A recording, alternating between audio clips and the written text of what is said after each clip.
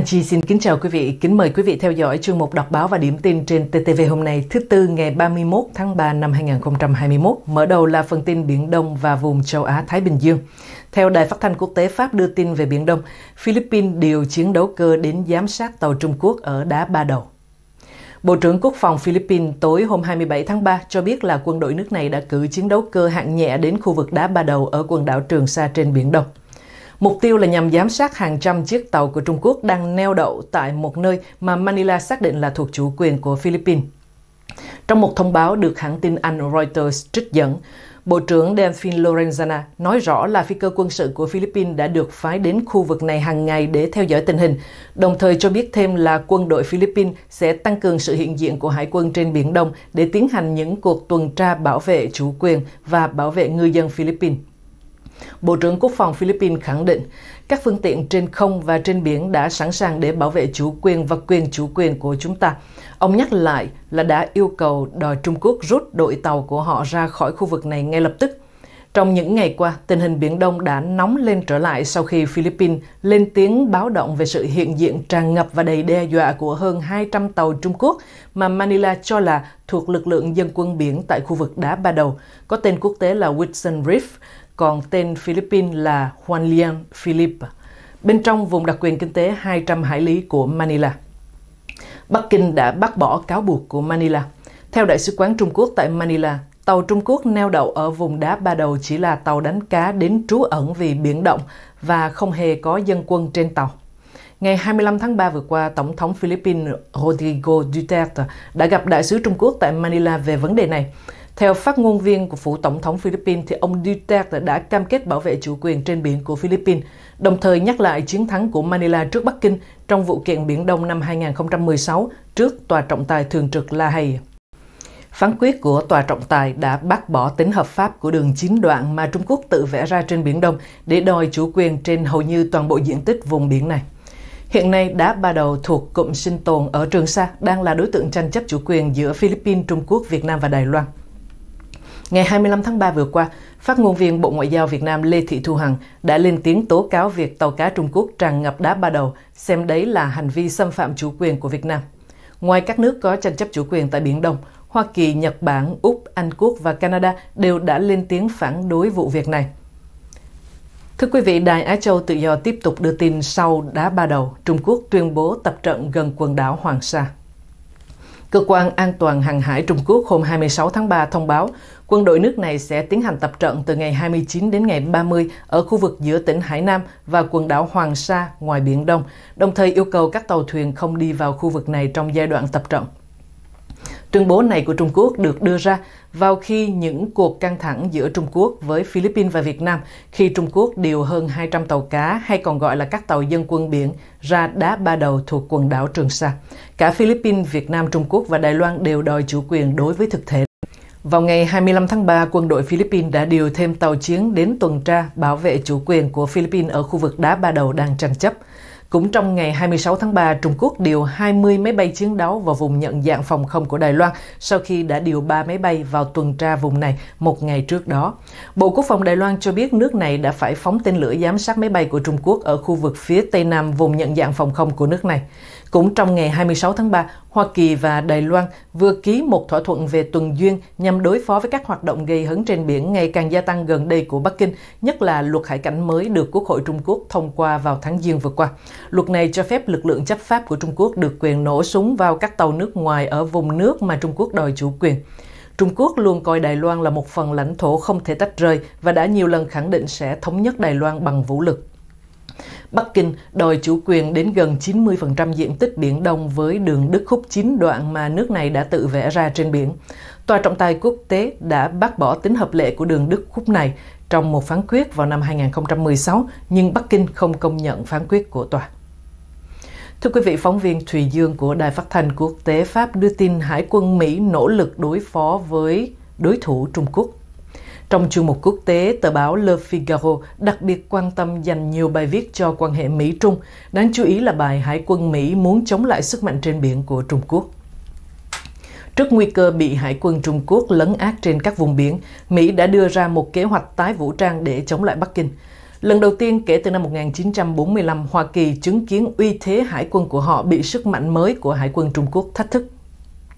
Chỉ trong vòng hai thập kỷ, sức mạnh của Hải quân Trung Quốc đã tăng hơn gấp 3 lần, từng bước vượt qua Hải quân Mỹ về số tàu chiến. Năm 2015, Trung Quốc có 255 tàu chiến, con số này tăng lên thành 360 chiếc vào đầu năm 2021, nhiều hơn 60 chiếc tàu chiến so với Mỹ. Nếu kế hoạch xây lắp tàu chiến tiếp tục, Trung Quốc sẽ có tới 400 tàu. Theo báo cáo của tình báo Hải quân Mỹ, lực lượng hải quân của Trung Quốc hiện giờ có quy mô lớn nhất thế giới. Bắc Kinh cũng đang cho chế tạo với tốc độ nhanh đáng báo động máy bay chiến đấu mặt nước hiện đại, tàu ngầm, tàu sân bay, chiến đấu cơ, tàu tấn công đổ bộ, tàu ngầm phóng tên lửa đạn đạo hạt nhân, tàu tuần duyên vũ trang và tàu phá băng ở vùng cực.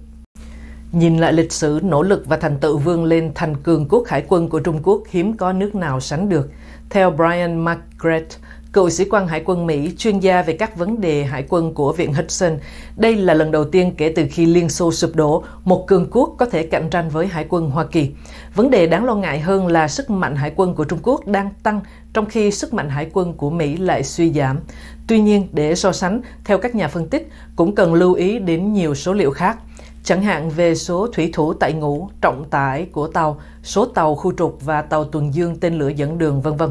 Mỹ đều vượt Trung Quốc. Hạm đội tàu ngầm của Mỹ cũng lớn hơn của Trung Quốc với 50 tàu ngầm chạy bằng năng lượng hạt nhân so với 7 chiếc của Trung Quốc.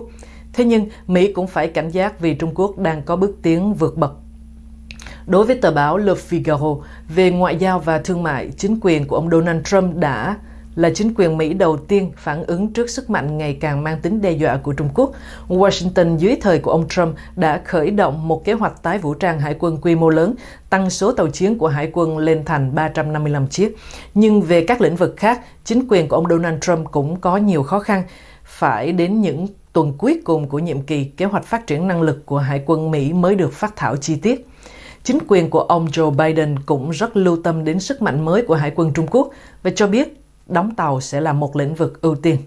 Ngoài ngân sách cho Hải quân năm 2022, chính quyền Mỹ cũng có kế hoạch đóng tàu cho 30 năm sắp tới, dựa một phần vào kế hoạch do chính quyền Trump đã đề xuất. Nhưng Mỹ cũng bị hạn chế về ngân sách. Theo chuyên gia Hải quân Brian Margaret, ngân sách của chính quyền Trump hầu như không đủ để chi trả cho hoạt động của lực lượng hải quân hiện tại.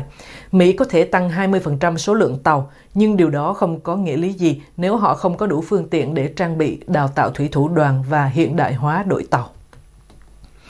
Thưa quý vị, bản tin của Đài Á Châu Tự Do, Hoa Kỳ, Nhật Bản và Indonesia tăng áp lực đối với Trung Quốc tại Biển Đông. Ba nước Hoa Kỳ, Nhật Bản và Indonesia gia tăng áp lực đối với Trung Quốc tại Biển Đông trước những hoạt động của Bắc Kinh tiếp sau vụ đá ba đầu. Từ ngày 7 tháng 3, Trung Quốc đã điều hơn 200 tàu cá đến đá ba đầu thuộc quần đảo Trường Sa và ở lại khu vực đá ba đầu từ đó cho đến nay. Mạng báo South China Morning Post vào ngày 29 tháng 3 dẫn một đoạn tweet trên tài khoản của Ngoại trưởng Hoa Kỳ Antony Blinken nói rằng Hoa Kỳ sát cánh với đồng minh của chúng tôi, Philippines, đối mặt với lực lượng gọi là dân quân trên biển của Trung Quốc tập trung tại đá ba đầu ở Trường Sa. Chúng tôi luôn sát cánh với các đồng minh và bảo vệ trật tự quốc tế dựa trên luật pháp. Trong khi đó, Bộ trưởng Quốc phòng hai nước Nhật Bản và Indonesia tại cuộc họp vào Chủ nhật ngày 28 tháng 3 cũng đồng ý đưa ra thông điệp là cả Tokyo và Jakarta mạnh mẽ phản đối bất kỳ hoạt động của Bắc Kinh có thể làm leo thang căng thẳng tại Biển Đông. Bộ trưởng Quốc phòng Nhật Bản Nobuo Kishi cho biết, trước tình hình đó, một trong những biện pháp của Tokyo là có thể tăng cường hợp tác quốc phòng và thực hiện một cuộc tập trận chung tại Biển Đông tối ngày 27 tháng 3, Bộ trưởng Quốc phòng Philippines Delfin Lorenzana ra tuyên bố sẽ cho điều thêm máy bay quân sự làm nhiệm vụ giám sát hàng ngày đối với số tàu đông đảo của Trung Quốc đang có mặt quanh đá Ba Đầu. Bộ trưởng Quốc phòng Philippines cũng lặp lại lời kêu gọi Trung Quốc phải rút hết các tàu ra khỏi khu vực đá Ba Đầu. Ngoài ra, ông Delfin Lorenzana còn khẳng định sẽ cho tăng cường hải quân tại Biển Đông để tuần tra và bảo vệ ngư dân Philippines. Thưa quý vị, theo trang Biển Đông.net thì Mỹ đài liên thủ chống Trung Quốc bành trướng. Bộ Ngoại giao Đài Loan hôm 25 tháng 3 thông báo rằng nước này sẽ ký một biên bản ghi nhớ với Hoa Kỳ về một hiệp ước hợp tác trên biển. Giám đốc Viện Hoa Kỳ tại Đài Loan Brent Christensen, đại sứ Hoa Kỳ tại Đài Loan trên thực tế từ năm 2018, đã tham gia cùng với Bộ trưởng Ngoại giao Đài Loan là Joseph Wu tại buổi công bố thông tin và lễ ký kết. Bộ trưởng Bộ Ngoại giao Đài Loan Joseph Wu lưu ý rằng đây là một thỏa thuận đầu tiên được Đài Loan và Mỹ ký kết dưới thời của chính quyền Tổng thống Joe Biden. Ông Wu nói kể từ khi chính quyền của Tổng thống Biden nhậm chức vào ngày 20 tháng Giêng, chúng tôi đã thấy rằng quan hệ giữa Đài Loan và Mỹ không những không bị gián đoạn, mà như Mỹ đã mô tả là một tảng đá vững chắc. Trong một tweet vào hôm thứ Sáu ngày 26 tháng 3, trưởng đại diện của Đài Loan tại Mỹ B. Kim House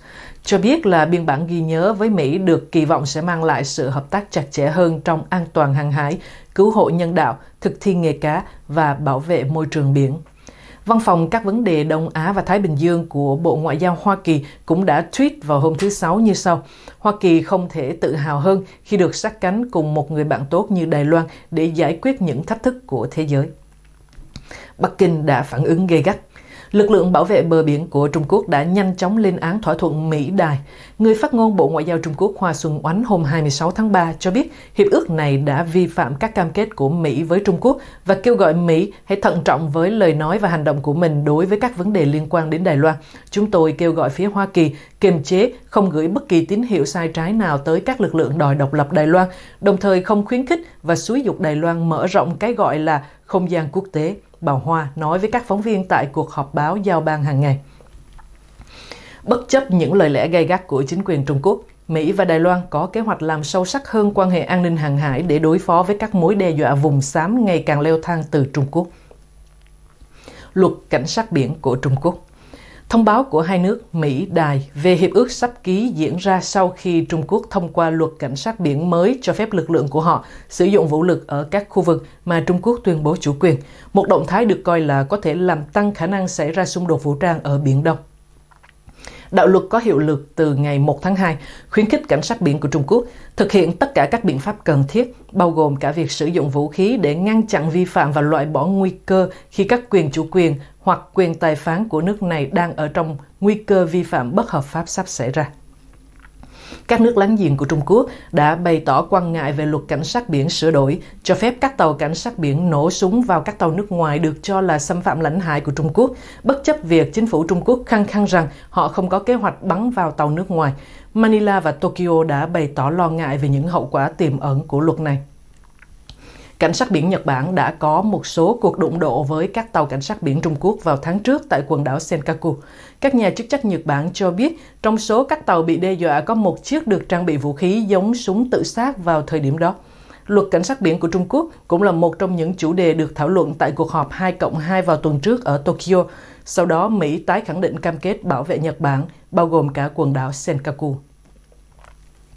Thưa quý vị, vẫn theo trang tin Biển Đông.net, tiềm lực quốc phòng Đài Loan mạnh cỡ nào? Bản đánh giá quốc phòng mới nhất của Đài Loan nhấn mạnh vào sự cần thiết phải chống lại chiến lược vùng xám của Trung Quốc và tự chủ phòng thủ. Bản đánh giá quốc phòng 4 năm của Đài Loan được công bố vào hồi tuần trước, trong đó nói rằng việc chuyển dịch sang một lực lượng tình nguyện hoàn toàn đã giúp quân đội của hòn đảo này đạt được mục tiêu về nhân lực và cơ quan quốc phòng giờ sẽ tập trung vào cải thiện nhân sự và chất lượng huấn luyện. Bản đánh giá quốc phòng 4 năm theo luật của Đài Loan sẽ cần phải được công bố trong vòng 10 tháng kể từ ngày lãnh đạo tuyên thệ nhậm chức, nói rằng những yêu cầu về khả năng không cân xứng trong quân đội là nhằm né điểm mạnh và tận dụng điểm yếu của kẻ địch và cần phải nhỏ, linh hoạt, bí mật để phục vụ cho các kế hoạch chiến lược. Tài liệu này cũng nhấn mạnh về sự cần thiết phải theo đuổi những khả năng tấn công tầm xa. Phát biểu trước các nghị viên hồi đầu tuần này, Phó Giám đốc Viện Khoa học và Công nghệ Trung San nói rằng viện này đang chế tạo một hệ thống tên lửa tầm xa chưa có tên và đang phát triển thêm ba hệ thống tầm xa khác. Những hệ thống này được tin là nhằm củng cố các hệ thống tên lửa phóng từ mặt đất, trên không và trên biển và sẽ tăng cường thêm các hệ thống tên lửa tầm xa mà Đài Loan sẽ mua từ Mỹ. Bộ Ngoại giao Mỹ mới đây đã phê duyệt xuất khẩu lô tên lửa AGM-84H Slammer của hãng Boeing và tên lửa hệ thống pháo M142 của Lockheed Martin cho Đài Loan. Kiểm soát biển cũng được liệt vào danh sách ưu tiên của Đài Loan nhằm chống lại một cuộc xâm lược của Trung Quốc. Trong đó, bản đánh giá quốc phòng 4 năm nhắc lại nguyên tắc định hướng của Đài Loan trong trường hợp đối đầu một cuộc xâm lược phản kháng kẻ địch ở bờ đối diện, tấn công chúng trên biển, tiêu diệt chúng ở khu vực ven biển và bờ biển. Theo bản đánh giá quốc phòng 4 năm, một trong những biện pháp để đạt được mục tiêu đó là tận dụng địa hình của Đài Loan và triển khai tên lửa chống hạm ở các khu vực ven biển, triển khai các lực lượng phản ứng nhanh và đặt mìn trên biển. Trong đó, biện pháp sau cùng sẽ dựa vào hệ thống tên lửa chống hạm Harpoon của Boeing, món quà mà Bộ Ngoại giao Mỹ đã phê duyệt xuất khẩu cho Đài Loan trong khoảng cuối năm 2020. Bản đánh giá quốc phòng 4 năm cũng nhắc tới việc Trung Quốc tăng cường sử dụng chiến thuật vùng xám nhằm vào Đài Loan, trong đó tăng cường các hoạt động quân sự và bán quân sự không nhằm tấn công trực tiếp mà để quấy rối, đe dọa và gây bất ổn cho địch thủ. Trung Quốc cũng khơi dậy cuộc chiến về nhận thức và thông tin, xua tàu thuyền và máy bay tới các vùng biển xung quanh Đài Loan với mục đích làm suy yếu tinh thần và làm giảm nguồn lực của quân đội Đài Loan. Theo bản đánh giá quốc phòng 4 năm thì việc huấn luyện lính nghĩa vụ Đài Loan thường kéo dài trong 16 tuần lễ sẽ được cải thiện. Tài liệu này nói rằng khóa huấn luyện chiến đấu và hành quân 12,5 dặm, trong đó tích hợp với môi trường chiến đấu thực tế sẽ được thêm vào chương trình huấn luyện cơ bản. Và trang Biển Đông.net đã phân tích thêm Trung Quốc đang tăng khiêu khích ở Biển Đông ra sao. Theo thông báo đưa ra vào chiều 26 tháng 3, Cơ quan An toàn Hàng hải Trung Quốc giới hạn di chuyển trong một khu vực nằm giữa phía nam đảo Hải Nam và quần đảo Hoàng Sa của Việt Nam mà nước này chiếm đóng trái phép. Đây là động tác phục vụ một cuộc tập trận quân sự trong hai ngày 29 và 30 tháng 3. Trung Quốc dường như không có xu hướng hạ nhiệt ở Biển Đông sau vụ neo đậu hàng trăm tàu ở Đá Ba Đầu. Ngược lại, đây là dịp để Bắc Kinh gây khó cho quan hệ Mỹ-Philippines. Cuộc leo thang căng thẳng Tờ báo South China Morning Post nhận định cuộc diễn tập quân sự của Trung Quốc sẽ khiến căng thẳng trong khu vực leo thang. Câu chuyện tàu Trung Quốc dàn ở đá ba đầu là tâm điểm của dư luận quốc tế trong suốt tuần qua. Trung Quốc khẳng định đây là những chiếc tàu cá lánh nạn, trong khi Philippines thì mô tả đó chính là lực lượng dân quân biển. Đối tượng thường xuyên bị chỉ trích vì vai trò trong những nỗ lực thúc đẩy yêu sách biển và lãnh thổ của Bắc Kinh ở Biển Đông. Trong một tuyên bố ngày 23 tháng 3, Bộ Ngoại giao Mỹ kêu gọi Trung Quốc ngừng sử dụng lực lượng dân quân biển để đe dọa và khiêu khích những bên khác. Tại cuộc họp báo thường kỳ ngày 25 tháng 3, Bộ Ngoại giao Việt Nam cũng nhấn mạnh Việt Nam có đầy đủ cơ sở pháp lý và chứng cứ lịch sử để khẳng định chủ quyền đối với quần đảo Trường Sa phù hợp với luật pháp quốc tế, đồng thời yêu cầu Trung Quốc chấm dứt việc vi phạm này. Tuy nhiên, với việc tàu Trung Quốc được biết vẫn không rời khu vực đá ba đầu. Kèm theo màn tuyên bố tập trận này, thì Bắc Kinh dường như không muốn thể hiện rằng họ không có ý định xuống thang căng thẳng chút nào. Bình luận trên tờ South China Morning Post, tiến sĩ Colin Ko Swilin, trường nghiên cứu quốc tế Rajathanam ở Singapore cho rằng cuộc tập trận này dĩ nhiên sẽ góp phần vào căng thẳng trong khu vực. Vì vậy, dù lúc này tình hình có vẻ yên ổn khi tất cả duy trì kiềm chế, không có gì bảo đảm sự yên ổn này sẽ tiếp tục. Ông nói, tôi cho rằng Trung Quốc có thể đang gửi tín hiệu về ý định đáp trả hoặc chính xác hơn là leo thang đáp trả nếu Philippines hay các nước khác có hành động trực tiếp nhắm vào các con tàu đang neo ở đá ba đầu. Vì vậy, đây là một tín hiệu nhắm vào việc ngăn chặn Philippines và mở rộng ra là người Mỹ nếu Mỹ có biểu hiện can thiệp. Bóng lăn về phía Mỹ-Philippines trong khi hầu hết các chuyên gia về Biển Đông chưa thể bình luận chính xác về mục đích trên thực địa của 220 con tàu dân quân biển Trung Quốc nêu trên, có một xu hướng cho thấy Bắc Kinh đang tạo ra một phép thử quan trọng cho mối quan hệ Mỹ-Philippines. Trước đó, nhiều tờ Tuổi Trẻ có lưu ý, học giả Philippines Jay Patongbakan tuần trước đề cập tới vụ 220 chiếc tàu Trung Quốc như một dấu hiệu đáng lo ngại tương tự kịch bản vụ bãi cạn Scarborough năm 2012. Đó là thời điểm Trung Quốc chiếm quyền kiểm soát Scarborough và để lại một vết hằn trong mối quan hệ đồng minh giữa Mỹ và Philippines, khi nhiều luồng ý kiến ở Manila tố chính quyền Tổng thống Mỹ Barack Obama khi ấy đã khoanh tay đứng nhìn. Sự kiện bãi cạn Scarborough cũng là lời giải thích cho việc Tổng thống Philippines Duterte không ít lần công khai chỉ trích Mỹ. Hồi tháng 2 vừa qua, ông Duterte tiếp tục gây sức ép lên quan hệ đồng minh lâu đời giữa Mỹ và Philippines khi tuyên bố Mỹ phải trả tiền để duy trì thỏa thuận các lực lượng thăm viếng. Thái độ của Philippines về thỏa thuận các lực lượng thăm viếng cũng như quan hệ đồng minh nói chung với Mỹ là một nhân tố quan trọng cho chính sách châu Á của Washington mối quan hệ Mỹ-Philippines được tạo điều kiện hàn gắn cải thiện sau khi ông Joe Biden lên nắm quyền với những lời hứa về ưu tiên mới cho quan hệ đồng minh, trong khi bản thân của ông Duterte cũng đã hai lần trì hoãn việc rút khỏi cái thỏa thuận này nhằm tạo điều kiện để đàm phán. Theo phân tích của giáo sư Carl Thayer, Đại học New South Wales, Học viện Quốc phòng Úc, Trung Quốc triển khai đợt tàu dân quân biển tại cụm sinh tồn nhằm tạo áp lực lên ông Duterte trong quan hệ với Mỹ.